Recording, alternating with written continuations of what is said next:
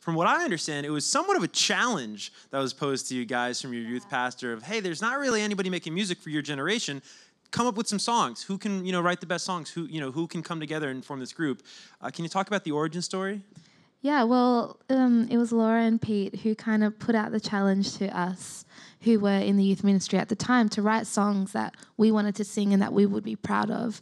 And it was actually out of that season that Alive was birthed, which um, Aodhan and Pat wrote. And that kind of was the catalyst for what we are doing today. And yeah, it's really cool.